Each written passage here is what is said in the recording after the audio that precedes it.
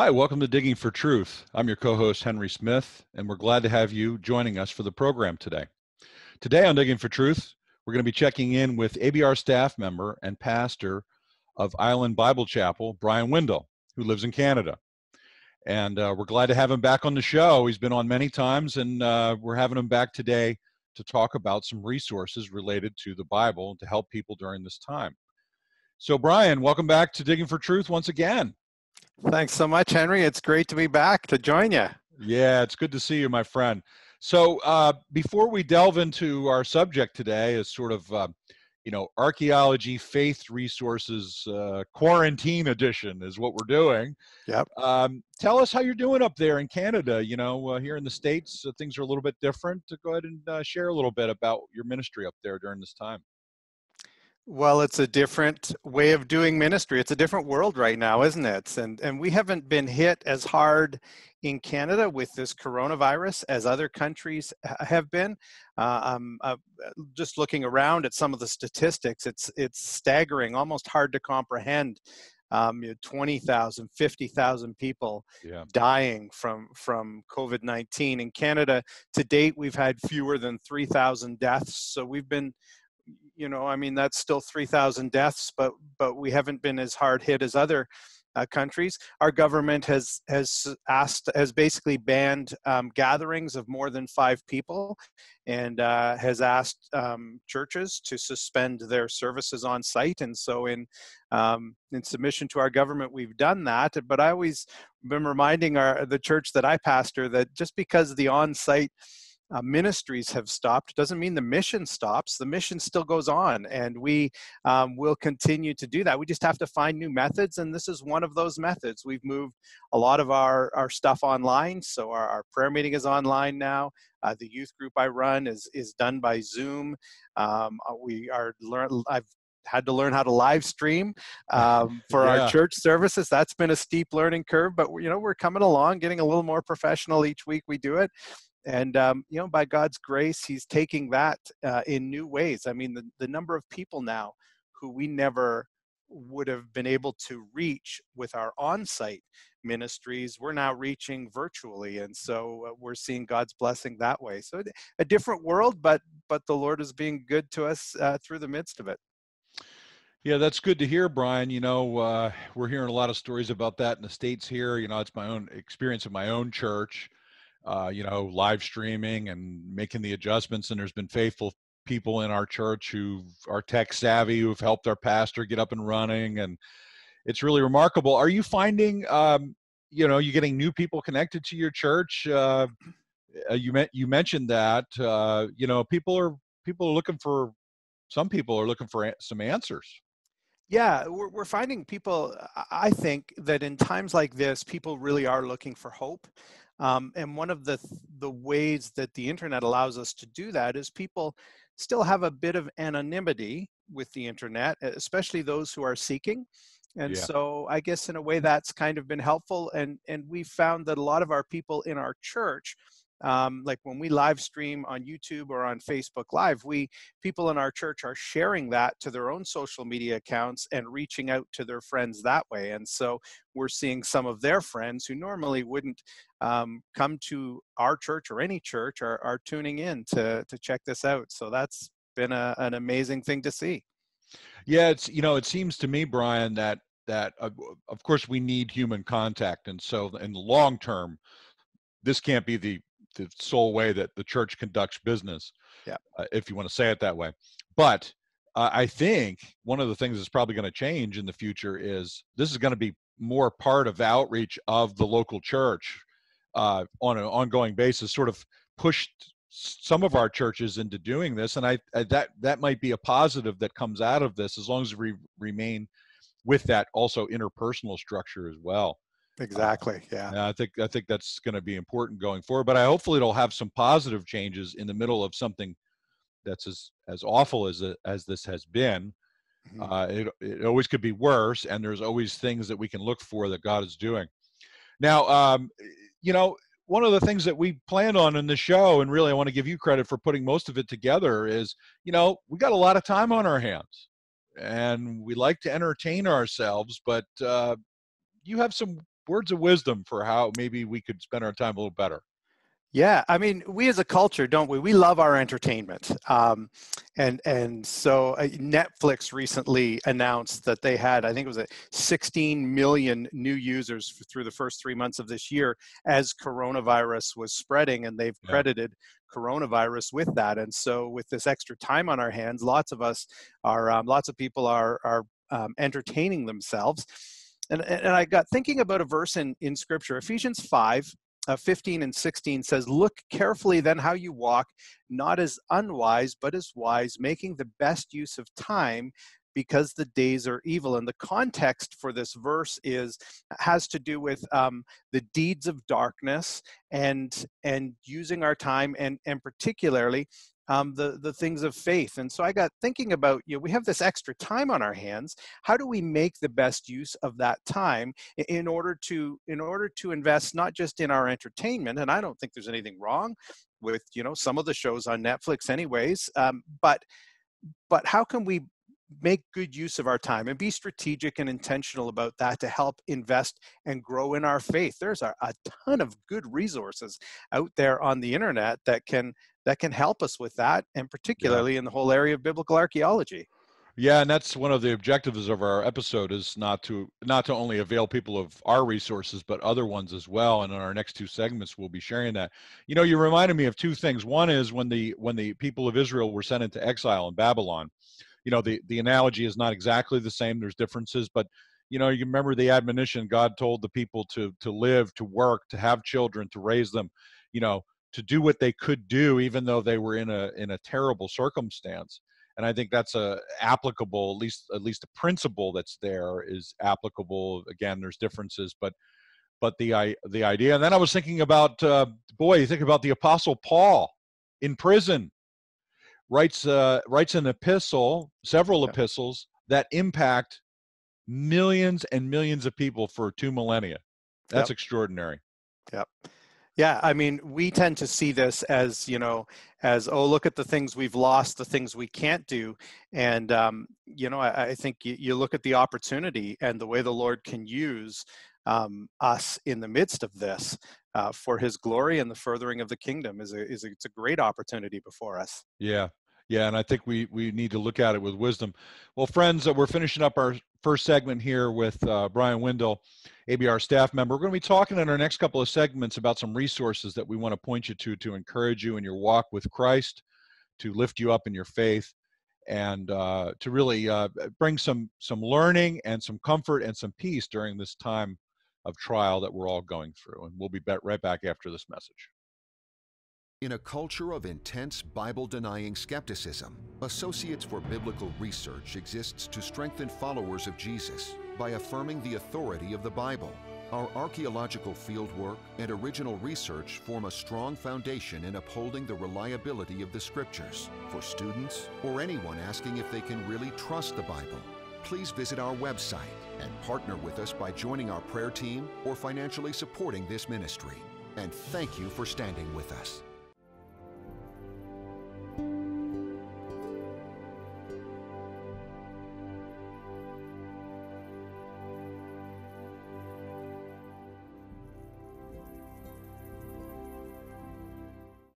Hi, welcome back to Digging for Truth. I'm your co host, Henry Smith. I'm here today with Pastor Bryan Windle from Canada. He's an ABR staff member. We've been talking about the impact of the coronavirus, and uh, so we're going to be talking now in this segment about some resources we want to encourage you with uh, during this time while there's a quarantine going on, when there's uh, not time to go out. Uh, there are things available to us that can lift us up in our faith, and uh, of course, our program is about Bible archaeology primarily. And so, Bryan, uh, Bryan, you love archaeology, as do we. So, let's uh, let's go into that a little bit. Let's maybe start with um, for folks who may be new to the program. You know, what's the archaeology thing all about? How does this relate to the Bible and the gospel? Well, and I think that's a that's a good and a fair question, Henry. That I think archaeology, and one of the reasons I love it, and the biblical archaeology, and where it's helpful, I think it does a, a couple of things for us with regards specifically to faith. The first is um, illumination. It, it illuminates uh, Scripture. you know, scripture wasn't written in a vacuum. These books that were written were written by real people in real places at a real point in time. And so, helping understanding the historical and the cultural background in which these books were written and to whom the people they were written really does help us better understand scripture itself. We sometimes we have these blinders on our eyes because of our western 21st century understanding of things and we can misunderstand um, what was actually meant when it was written in scripture. So archaeology helps with that. It helps provide some of that historical and cultural background. And the second thing and i think this is really important too it's not just illumination it provides affirmation um, we live in a world that's highly skeptical, that has um, everyone loves the latest conspiracy theory. Yes. And, and so yes. when it comes to the Bible, there's a lot of people who doubt the Bible or who are coming up with all sorts of weird and wonderful theories about why it wasn't written by, you know, the Torah wasn't written by Moses, it might have been written by other people. And, and archaeology helps affirm by showing us, for example, that the world of the patriarchs is, is accurately described in the book of Genesis. Um, and, and that would help us understand not only what's written, but also lend credence to the fact that it was Moses who, who penned those words. And so affirmation is really important. You know, when Luke wrote the book of Luke and, and, and Acts, he wrote it for a man named Theophilus, and he said he carefully researched everything, um, interviewing eyewitnesses. And then he said this so that Theophilus could have certainty concerning, concerning the things he had been taught. I think the principle there is that, that good historical research, biblical research, biblical archaeology even, should and can um, affirm one's faith. And that's why Luke wrote the book of, of Luke. And that's one of the reasons I'm really passionate about biblical archaeology because I find it does the same thing. Yeah, that that's great. You know, I was thinking you made me think of uh, a, a, another thing that people struggle with is what, what Luke is saying there to Theophilus is the certainty of the things that you have been taught. People today don't like certainty. Uh, now, we would say the certainty does is not generated from ourselves, but from God revealing himself and what he's done and the record he's left behind for us.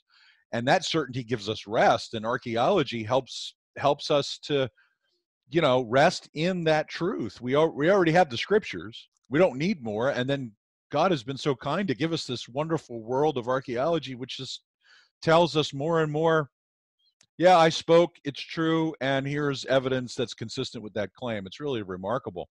Yeah. Go ahead, Bryan.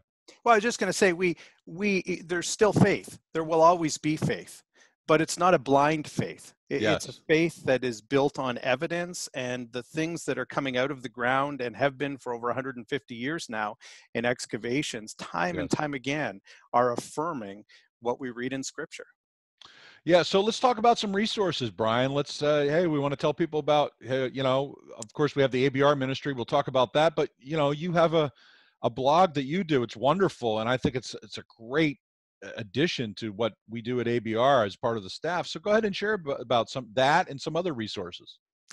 Sure. Well, I, am kind of new to blogging. Um, I've only been really going hard at it for about a year and a bit now, but uh, but have been following blogs before that, and so there were there were some favorite blogs that I was following, um, and, and, then I started my own. I, I blog post about once a week uh, almost, and um, kind of my blog, the niche that I have for it is is I'm trying to take archaeology and and make it really accessible to um, to the average person, particularly young people, um, in, in, the sense that um, you know the blogs are short; they're meant to be read in about five minutes, and I'm trying to uh, almost act like a translator, taking kind of some of the difficult technical stuff yeah. and and making it making it accessible. So that's my blog, and it's it's on all sorts of different uh, things. I've done um, kind of the series I've been working through recently is uh, what I call bioarchaeographies, um, uh, archaeological biographies. What what can archaeology tell us about the lives of people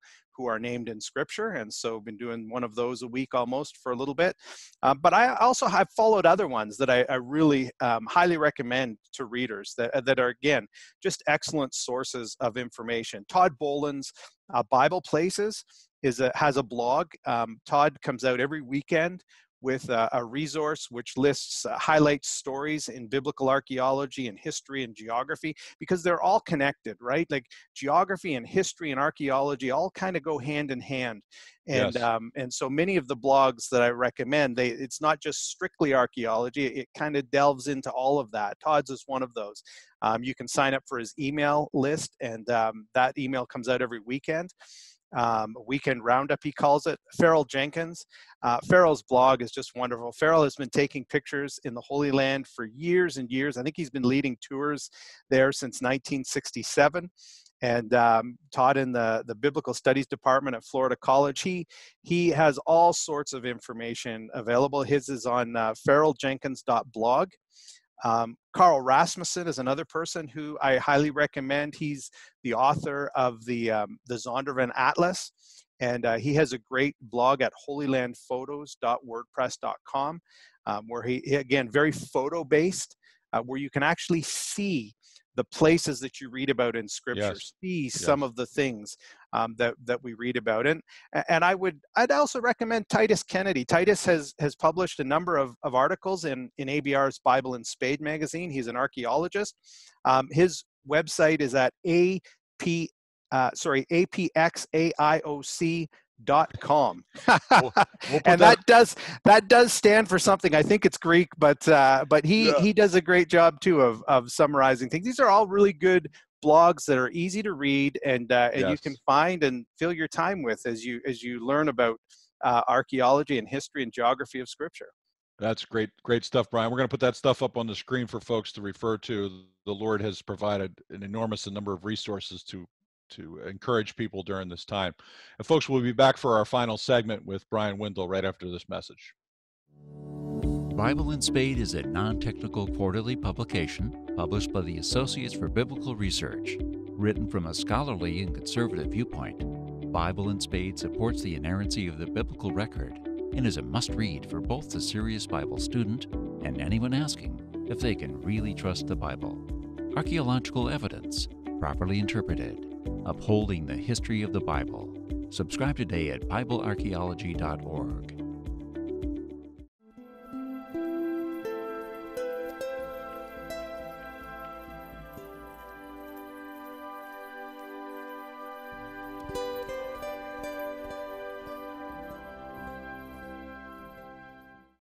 Hi, welcome back to Digging for Truth. I'm your co-host Henry Smith. I'm here today with Bryan Windle, ABR staff member and pastor in Canada, and we're talking about resources to encourage you during the time of quarantine during the coronavirus. Thing, uh, resources that you can read that will lift you up in your faith and uh, encourage you in your confidence that you can trust the Word of God.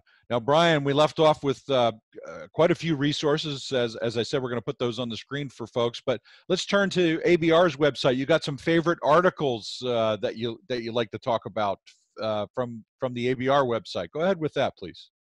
Yeah, well, I mean, part of part of me kind of getting sucked into this wonderful rabbit hole of biblical archaeology was me stumbling across uh, ABR's website years ago, and so I've I've enjoyed many of the articles that are on there, and so some of my favorites for people who are who are have some time on their hands and they're looking maybe to learn something new maybe they're reading scripture and they're going hmm i wonder if if about that if there's any historical evidence for that um, uh, just I'll just name some. Uh, Dr. Charles Aling, who's an Egyptologist, has a six-part series on Joseph in Egypt. Um, that's what it's called, Joseph in Egypt. Um, you can just go to ABR's website at BibleArchaeology.org, and in the search tab, just type in uh, Joseph in Egypt, and you'll find uh, all six of his articles. Um, if you are into the Exodus, um, Gary Byers, uh, our friend and, and archaeologist, has has a great two-part series with some new evidence on the the location of the Red Sea or the the Exodus Sea crossing. Um, of course, Dr. Bryant Wood's classic article, "The Rise and Fall of the 13th Century Exodus Conquest Theory," theory, theory is really one that that I think everyone should read. Um, of course, at ABR, we we take Scripture literally, and when um, we believe that that would lead to a 15th century um, exodus and conquest. And so Dr. Wood has done a really good critique of the 13th century theory. Um, Doug Petrovich has a great one on on Amenhotep II as the Pharaoh of the Exodus, and um, uh, the one I found uh, for a New Testament one, uh, Joan Taylor has a really good one on the location of Golgotha um, and and the history history around that. So there's just yes. some great resources there. You can just search in the search tab. Yeah, we we've got hundreds of articles. Those are great recommendations. And in addition to that, uh, you know, up to I think 80 episodes so far of Digging for Truth uh, also are all posted on the ABR website. Uh, so, I mean, it's all free. And so, you know, we want people to to go to our site and read and and type in a subject and try to find out what they can about uh, how they can trust the scriptures. It's uh, we're we're very thankful that the Lord has allowed us to have this resource for uh, people who are searching for truth. Yep. Yep. And there are other resources too that are really good. Um, you, you, mentioned Digging for Truth. Uh, it's on ABR's website. You can look on ABR's um, YouTube channel and, or, and follow us on Facebook. And, and they're regularly being posted there, um, over 80 articles there. A couple of other good resources Appian Media. Um, just did a really good series called uh, Searching for a King. Uh, Dr. Scott yes. Stripling from ABR was featured in it. And uh, you can find that at their website, appianmedia.org. Searching for a King. We'll put the, the link on screen. Uh, Wayne Stiles is a does a really neat job of of looking at the Holy Land and archaeology, and, and but almost from a devotional point of view. Really helpful yes. faith lessons, and uh, he has virtual tours that you can sign up for on his website, walkingthebiblelands.com. And uh, the other one I would suggest is Gordon Govier does a really good job of his podcast. He has a weekly podcast called The Book and the Spade. It's at his website, which is radioscribe.com. And um, again, uh, Dr. Stripling and others have been interviewed on that numerous times. It's just a really good weekly update of what's happening in the world of biblical archaeology. Yeah, that that's that's great. Uh, you know, we did an interview with uh, for searching for a king. You mentioned that. That's a great series. I mean, it's free. It's yeah. been phenomenally done, and uh, I like Wayne Stiles' stuff too. He boils it down to an application. You know, we like we love archaeology, and it's a it's, you know, in a way, it kind of has an intellectual angle to it a little bit. You know, studying evidence and making an argument and talking about pottery and those kind of things.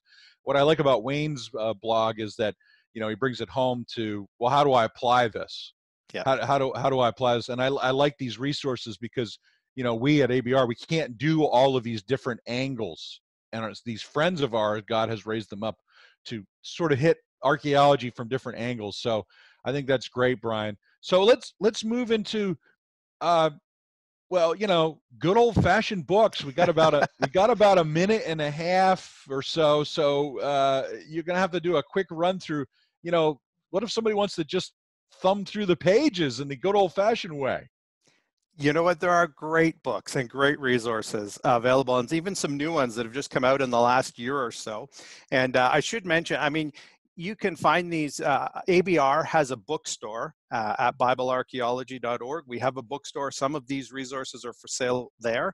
Uh, others you can get on um, on Amazon. Some may be used, but um, a, a, couple that I would recommend if you're looking for a good, um, easy to read introduction to biblical archaeology. Dr. Scott Stripling, The Trowel and the Truth, is a great little read. Um, my my son got it for me for my birthday a year or two ago, and uh, it, I found it a really good read. I actually have an, a, a, book review of it on my website at Bible Archaeology report.com if people want to kind of check that out before they buy it. But I recommend that. A Zondervan came out about a year ago with the Zondervan Handbook of Biblical Archaeology, and it goes book by book through the Bible, looking at some of the archaeology, and has a really good introduction to biblical archaeology right at the beginning. It's by Randall Price. Um, a new one that just came out literally within the last month or two is um, is the Harvest Handbook of Bible Lands, and it's by by Joe Holden and Steven Collins. But um, if you open it up and you look at some of the people who did some of the inserts, you'll see some very familiar names because Gary Byers is there from ABR and Scott Stripling from ABR and That's some great. other. It's a who's who of uh, of biblical archaeology helping on that one. Um, and again, looking at Bible lens, but but doing so from a historical, archaeological, geographic, Yeah. geographic perspective. The ESV Archaeology Study Bible, NIV Archaeological, there are just so many really good books out there. Well, Bryan, that's uh, you gave the audience a lot to work with. They they're not going to have idle time. You know the old expression, "idle hands are tools for the devil." We're not going to let that happen to our folks who support us. Thank Yep. you for thank you for being with us, Bryan, and for sharing today. We appreciate you so much. It's a Friends, we hope that you are encouraged uh, by this program of Digging for Truth. Know that there's resources out there to encourage you during this time of quarantine. We pray that God will bless you and walk with you closely during this uncertain age. Thank you for joining us.